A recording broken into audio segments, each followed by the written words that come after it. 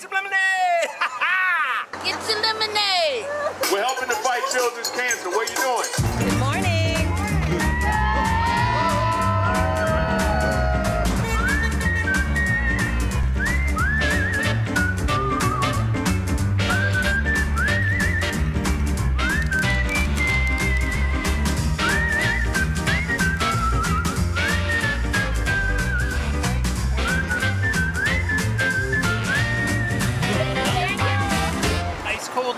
Lemonade. There you go. Thank you a All lot. right. I haven't taken a shower yet today, so they're going to put me in a dunk tank. Are you scared?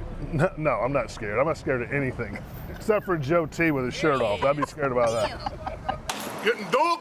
The dunk tank is underway. We're all getting wet now for Anthem LemonAid. Have fun, go nuts! Oh! Look out, water! Wow, that was close.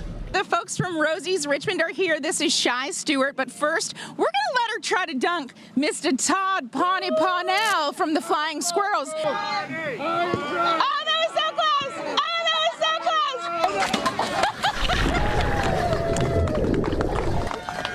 It's okay, it's okay. I'm all right. And this is $2,500. This is an amazing donation. Woo!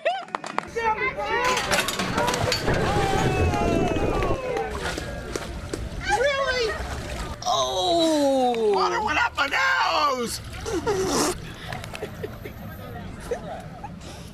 A fun time for sure. We've got an updated tally now the donations we collected during our Anthem LemonAid stand today. That includes in person and online. We've collected $15,408. It is not too late to donate. You can donate online at WTVR.com and you'll be helping fight childhood cancer.